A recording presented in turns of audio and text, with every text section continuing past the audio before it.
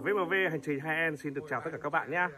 Hôm nay à, V đang đứng ở Bảo tàng Dân tộc học Việt Nam à, và hôm nay à, đứng trong khung cảnh à, của bản làng Tây Nguyên thì xin được gửi tặng tất cả mọi người ca khúc.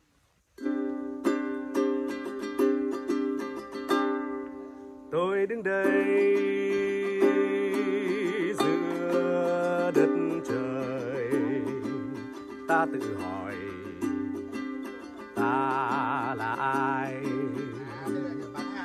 ta đến đây để làm gì?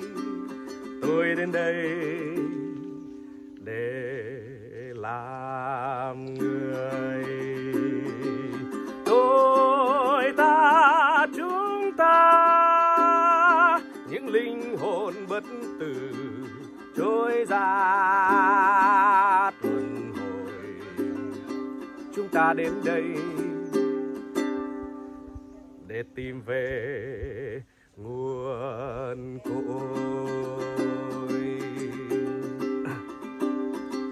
Gió cứ vừa hát, mây theo gió rong chơi, nắng thành thơi tỏ khu vườn, rồi tiếng chim ca. Đứng giữa đất trời, ta và vũ trụ bao la. Ta tan vào văn hoa ca của sự sống. Quên đi chính mình, ta hòa mình vào tự nhiên. Là mãi mãi